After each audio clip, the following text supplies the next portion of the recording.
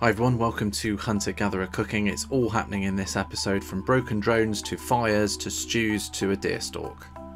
The day started so so well, I was so excited. I was borrowing a commercial Land Rover for the day, so we had a bit of a tour of the estate and everything was going absolutely perfectly until I managed to pull this little stunt with the drone and it ended up a bit like this. With a bit of quick thinking from Harry and the use of his shooting sticks, I managed to finally get it down. And then we were on our way again and amazingly the drone was still working. The plan was pretty simple, drive around this fantastic estate, eventually stop acting like schoolboys and then settle down, light a fire and start cooking. I wanted to get something going as fast as possible whilst Harry and Tom did their review video. We lit the Swedish log and started some burgers and then eventually managed to get this stew on the go. Venison burgers with blue Stilton was an absolute winner, but once we'd managed to make sure that the fire was safe, it was time to enjoy the stalk. Now this was new for me because the only guy that I've been stalking with is Matt from Grove Game, so I was really keen to see what the differences would be.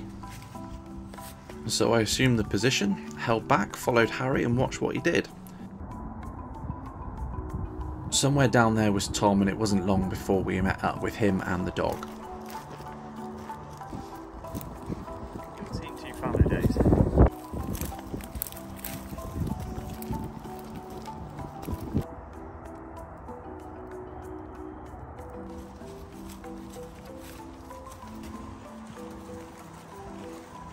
Now, it wasn't too long before we had our first sighting, so I was very excited.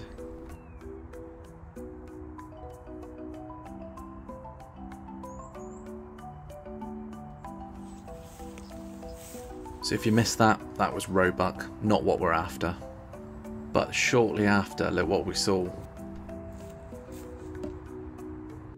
This was exactly what we wanted. If you don't want to see the shot, you've got about five seconds to look away.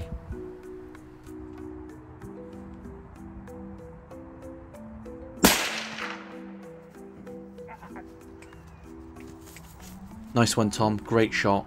Harry went up and over, but the deer ended up sort of going round them, so we let these ones go.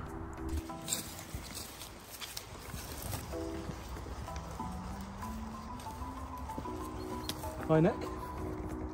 Now these are field to fork videos, so if you like eating venison, this is how it's processed. The idea is to get all that blood out, otherwise it's just going to congeal and you don't want that in there. The plan was to leave the deer where it was and come back with the Land Rover later. We had a little look round the estate, but we did see a couple of sightings, but nothing worth taking a shot on.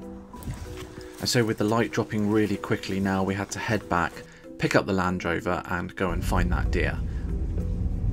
Now this was a whole bunch of fun. Off-roading at night was even better than off-roading in the day. Now we're not quite at the end of the film yet, but I'm going to take this moment to sort of say thanks to all the support that I get, all the follows, all the comments and all the subscribers. And if you haven't subscribed, please hit that button. I've always got more content planned. We've got the gralloching at the end of this video and I'm going to show you that stew by the time it was cooked. So with the deer on board, it was time for Tom and Harry to start the gralloching and they were going to try a new little bit of kit that fitted onto the back of their car.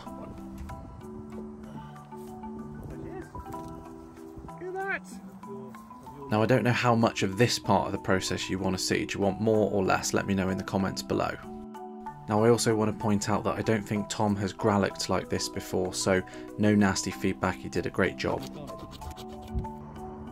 It didn't take him long at all, I think he did a great job, but it was the end of the night. We went back, checked on the stew, it was still there, lovely and warm, perfectly cooked, so we took it back to the farmhouse, and I promised you a final shot, so here it is. Thanks for watching and I'll see you for the next one.